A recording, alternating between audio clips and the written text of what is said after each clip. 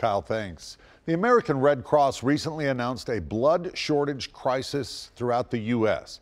And people who count on regular blood transfusions, of course, are watching this closely. If it gets any worse, the Red Cross says treatments could be delayed. News Channel 5's Hannah McDonald has a look at the potential setbacks. And then there's an IV pole beside you. They put the chemo on like top of it, and then they there's like a line that goes in, connects to your tube, and just goes in. Leukemia patient Brody Kramer knew what to expect at chemotherapy before the blood shortage. I wonder how bad it would get like how I would feel and other people would feel. The 13 year old's heart races and head pounds when his hemoglobin levels are low, a side effect of his chemo.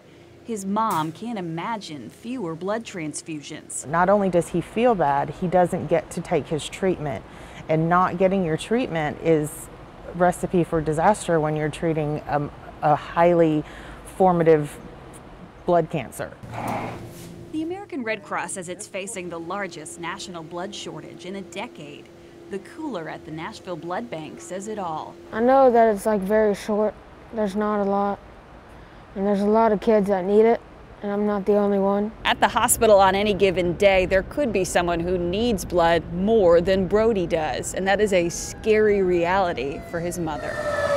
I always hope that, you know, the, the, the children, and especially the children who need it for their chemo, um, will be selected, but there's emergencies where it's it really is life-saving. They it, they have to have it. 46 times a blood donation has helped Brody have a successful treatment. The family hopes she'll continue to help him make a full recovery. Stick with the appointment. You're doing a good thing. In Nashville, Hannah McDonald, News Channel 5.